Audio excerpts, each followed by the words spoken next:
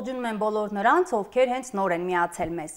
Դեռ վաղուց մարդկությանը հայտնի են եղել զանգվածային տարածվածությամբ հիվանդություններ, որոնց անվանել են համատարած համընդհանուր հիվանդություններ։ Հիվանդության արագ փոխանցումը կենթանուց կենթանուն եւ մարդուն, նաեւ մարդուց մարդուն ժողովրդի լայն զանգվածների վարակները հիմք են ծառայել այս հիվանդություններն անվանել համաճարակներ։ Ինֆեկցիոն հիվանդություններն առավել վտանգավոր են, եթե երեխաներն են դրանցով հիվանդանում։ Երեխաների շրջանում ինֆեկցիոն հիվանդությունների տարածվածության եւ առհասարակ դրանց առաջացրած խնդիրների մասին կզրուցենք բժիշկ ինֆեկցիոնիստ Կարինե Հակոբյանի հետ։ Բարև ձեզ։ Բարև ձեզ։ Բժշկուհի,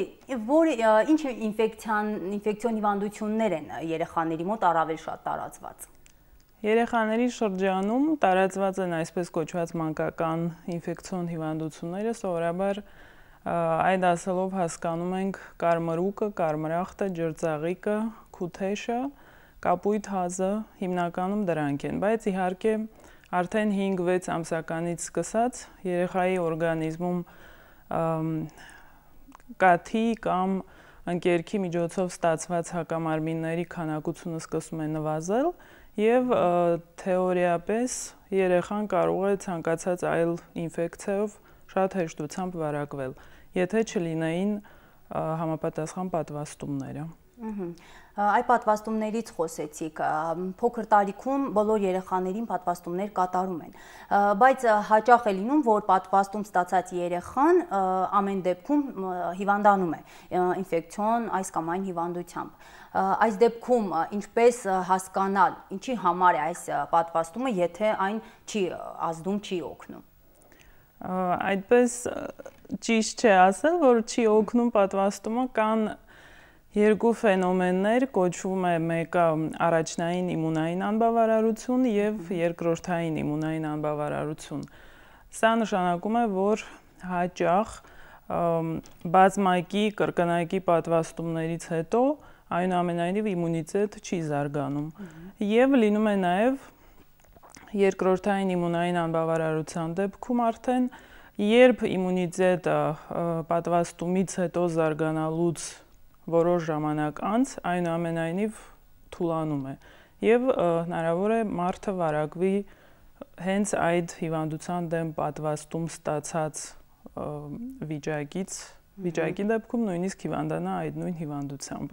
Այս դեպքում որ երեխաների մոտ է հիմնականում դա լինում։ Կարող ենք ասել, որ այդպես երեխաները ավելի թույլ թույլ են հիվանդ կոտ են, թե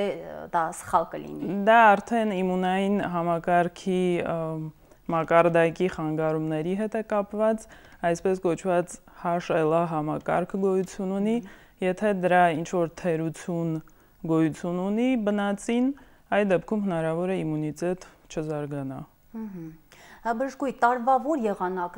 եղանակներին է ավելի շատ տարածված լինում ինֆեկցիոն հիվանդությունները։ Մեզ մոտ կոնկրետ ամառային եւ ընդհանրապես տաք եղանակներին աճում է սուր աղիքային ինֆեկցիայով ինֆեկցիայով հիվանդացության քանակությունը եւ երեխաների շրջանում եւ մեծերի ցուրտ եղանակներին հայտնի է, որ բարձրանում է շնչառական ուղիների հիվանդությունների թիվը, դա քութեշն է, ջրծաղիկը նույնիսկ, կարմրուկը, կարմրախտը, ինֆեկցիոն մոնոնուկլեոզը։ Այդպիսի տենդենցիա է նկատվում։ Այսօրվա դրությամբ կա հիվանդություն, որը ավելի մեծ համատարած է, այսպես ասած, ավելի շատ երեխաներ են այսօր հիվանդ։ Այս պահին արդեն մի քանի ամիս շարունակ մենք հաճախ ունենում ենք դիմումներ կապված քութեշով եւ ջրծաղիկով հիվանդացության հետ, հիմնականում մանկապարտեզ հաճախողի երեխաների մոտ։ Ահա բժշկուհի ունենք տեսահարցեր, առաջարկում եմ դիտեք դրանք, այնուհետև կանդրադառնանք պատասխանին։ Խնդրեմ։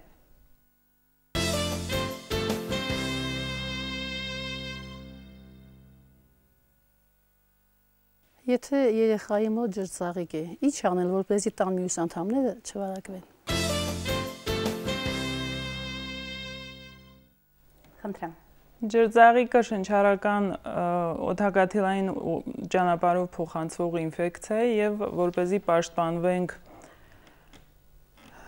չվարակվելուց, վարակվելուց ավելի ճիշտ պետք է կամ մեկուսացնել առողջ մարդկանց, կամ եթե տան պայմանները թույլ չեն տալիս, ավելի ճիշտ կլինի մեկուսացնել հիվանդին, այսինքն գոնե առանձին սենյակ տրամադրել, անընդհատ օթափոխել սենյակը, նույնիսկ եթե եղանակը ցուրտ է, որովհետև հայտնի է, որ վիրուսները երբ կուտակվում են օդի մեջ սենյակի, նրանք կարող են նույնիսկ որոշ մետր տարածություն ինքնուրույն փոխանցվել օդով, այսինքն կարող է հարևան սենյակում գտնվող չվարակված եւ իմունիտետ չունեցող մարդը շատ հեշտությամբ վարակվել։ Այդ պատճառով կարեւոր է օդափոխությունը սենյակի։ Իսկ եթե կրելը կօգնի այս դեպքում? Դիմակներ կրելը կախված է նաև դիմակի տեսակից, որովհետև կան հատուկ դիմակներ, որոնք պաշտպանում են հենց վարակվելուց, այսինքն դա կարող է կրել առողջ մարդը։ Իսկ սովորական դեղատներում վաճառվող դիմակները դրանք դրանք ավելի շուտ պաշտպանում են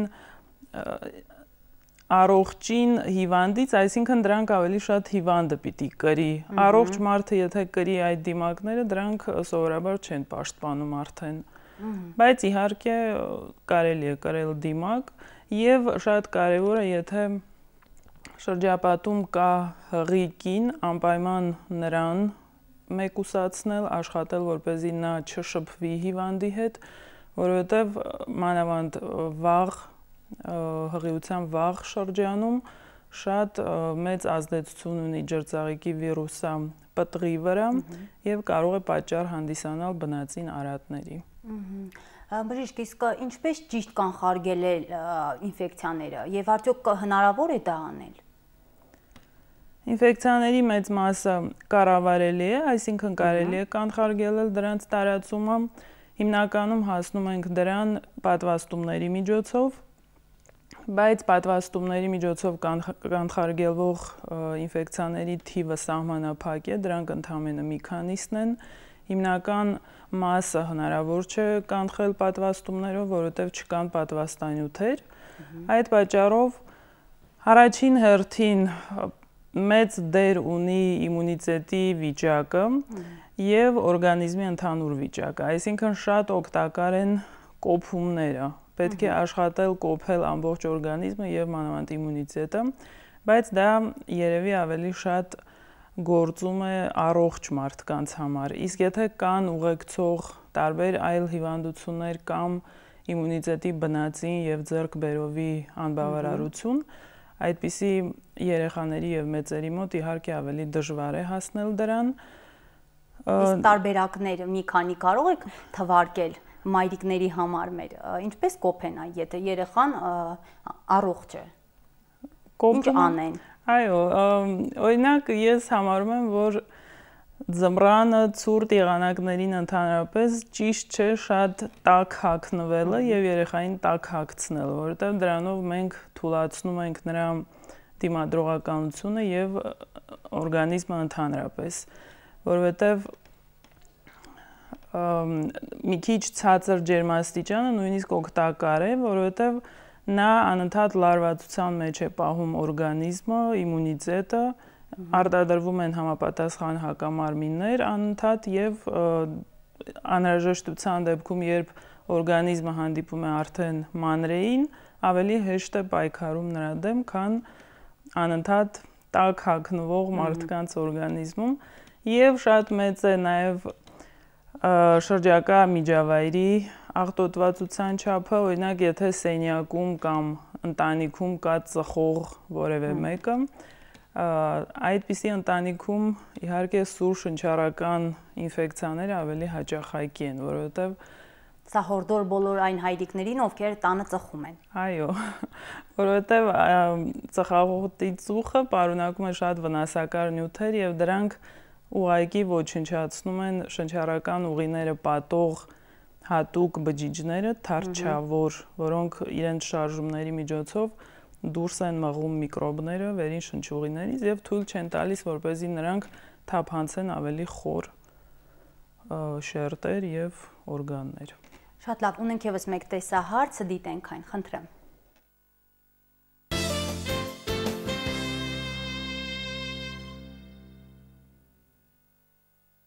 Որ ամսին են աղիքային հիվանդությունները մեծ տարածում գտնում։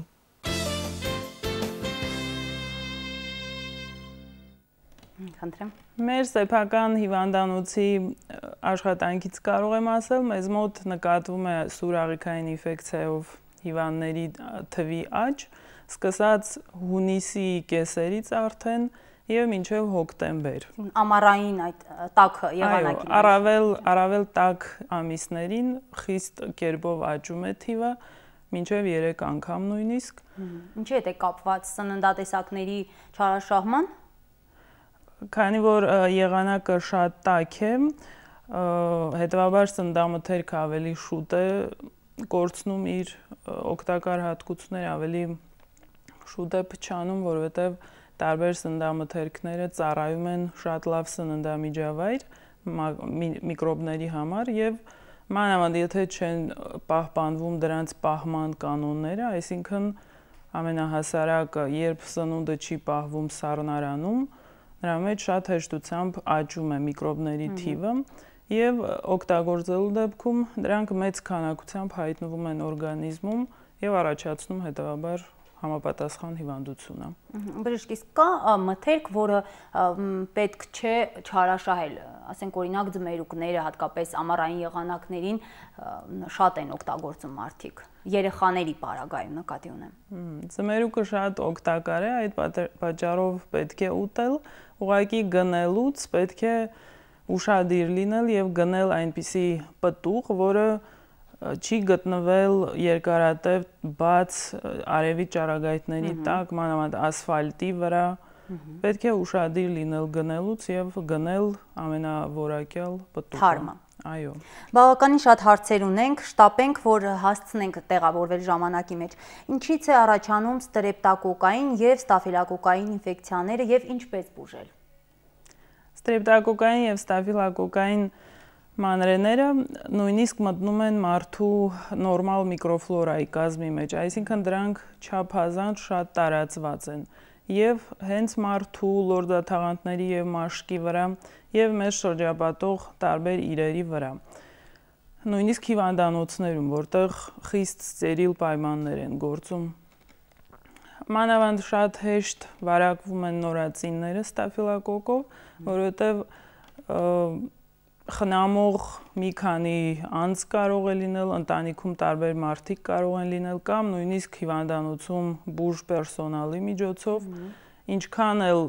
ձեռքերի մաքրությունը պահպանվի, միևնույն է, նույնիսկ աշխարհի ամենաառաջադեմ հիվանդանոցներում գոյություն ունի այդ խնդրեմը եւ մանավանդ խնդրեմ է, երբ հայտնաբերվում են անտիբիոտիկների հանդեպ կայուն շտամեր եւ շատ դժվար է պայքարել դրանց դեմ։ Իսկ բուժելու համար կախված է նաեւ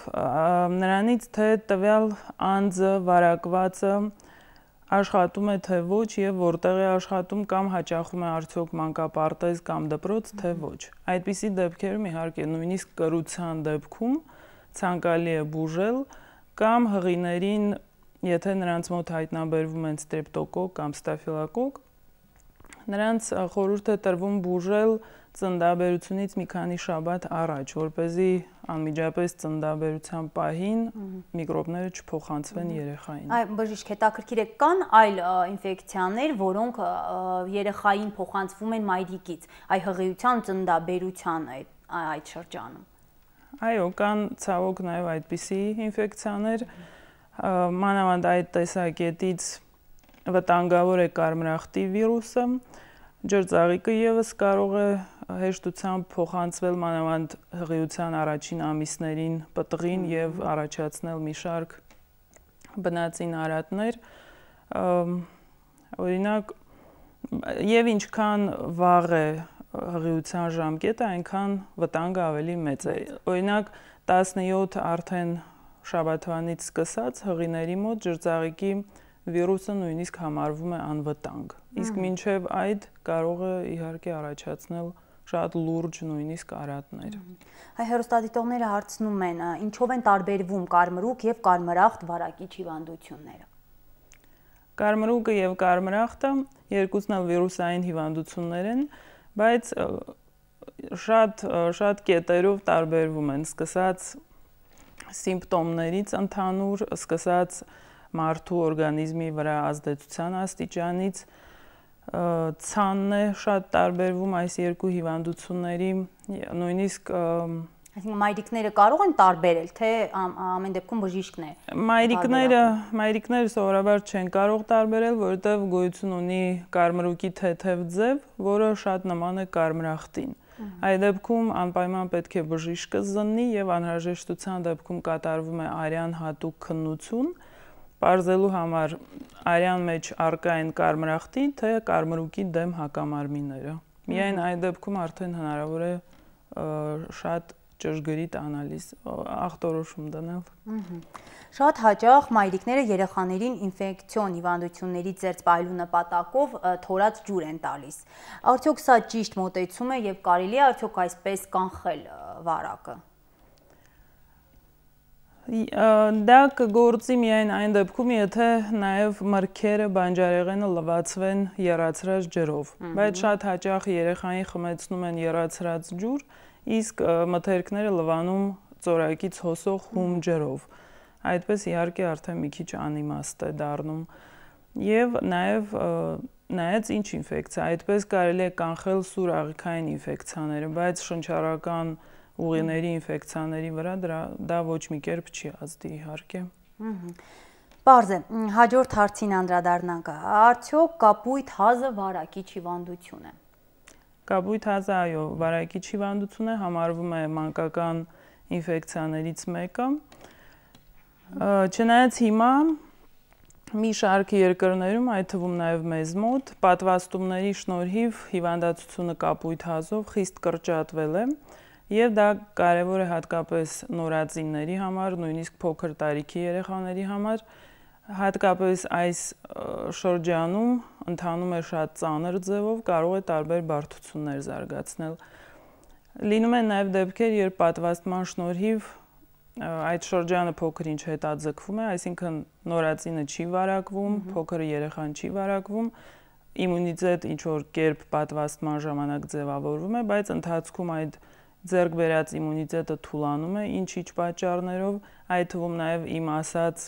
ֆենոմենների շնորհիվ եւ մարդը արդեն մեծ տարիքում կարող է այնուամենայնիվ վարակվել։ Այսինքն կրող է ամեն դեպքում հանդիսանում այս դեպքում։ Կրություն չի զարգանում, բայց երկարատև հիվանդություն է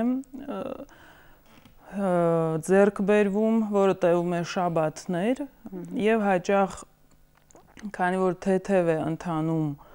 հիվանդները նույնիսկ ուշադրություն չեն դարձնում, հիվանդանոց չեն դիմում, հետազոտություն չի կատարվում եւ այդպես նրանք շարունակում են գնալ աշխատանքի, դպրոց եւ վարակել նաեւ իհարկե ուրիշներին։ Բարձ է։ Հարց ունենք ճճվակրության հետ կապված։ Ճիշտ է երեխաներին ամեն գառնան ու աշնան ճճվակրության դեմ դեղ տալ։ Եվ կարելի է արդյոք դա անել առանց բժշկի հետ խորհրդակցելու։ Անպայման պետք է խորհրդակցել եւ ցանկալի է իհարկե հետազոտվել, հետո միայն կատարել բուժումը, որովհետեւ ցանկացած դեղ ունի կողմնակի ազդեցություններ եւ առաջին հերթին լարդի վրա ազդեցություն։ Այդ պատճառով կարող է երեխան նույնիսկ ճունի ճիճվակրություն, բայց ստանում է ավելորդ դեղեր եւ դրանով վնասում այլ օրգանների։ Պրոֆիլակտիկ ասվածը այստեղ չպետք է կիրառել։ Այո, ցանկալի է առանց անալիզի եւ առանց ախտորոշումը ճշգրտելու իհարկե չկատարել դա։ Եվ որ տարիքից սկսել երբ կապ չունի, երբ հայտնաբերվի։ Երբ երեխան արդեն ինքնուրույն կարող է քայլել, տարբեր առարկաներ ձեռք տալ, մանավանդ դրսում խաղալ, այդ դեպքում իհարկե հավանականությունը կա, որ նա կարող է վարակվել։ Եվ կարելի է, եթե երեխայի մոտ նկատվում են անհանգստություն կամ զարգացումն է հապաղում, մի շարք այլ սիմպտոմների դեպքում իհարկե դիմել բժշկի, կատարել համապատասխան հետազոտությունը եւ Եթե հայտնաբերվի, միայն այդ դեպքում բուժվել։ Պարզ է, ճիշտ է, որ արյան անալիզի միջոցով ճճվակրության արկայությունը պարզելը ավելի ճիշտ տարբերակ է։ Դա այդքան էլ ճշգրիտ չէ, այսինքն 100%-անոց ճշգրտություն չկա այս անալիզի։ Այդ դեպքում իհարկե կարելի է կատարել այսպես. Եւ հանձնել արյան հետազոտումը եւ հանձնել նաեւ այլ անալիզ, որ เป զի գուցե միասին արդեն համադրելուց հետո ճշգրիտ որոշվի։ Իսկ եթե չի կատարվում արյան ընդհանուր անալիզ, կան նաեւ այլ եղանակներ, որոնցով կարելի է ճշտել այդ ախտորոշումը։ Շատ լավ, բժիշկ, հարցերը շատ են, ցավոք ժամանակը մեր սպառվել է։ Շնորհակալություն, որ հյուրընկալվեցիք մեր տաղավարում։ Հուսամ մեր համագործակցությունը կշարունակվի։ Շնորհակալություն։ Շնորհակալ եմ։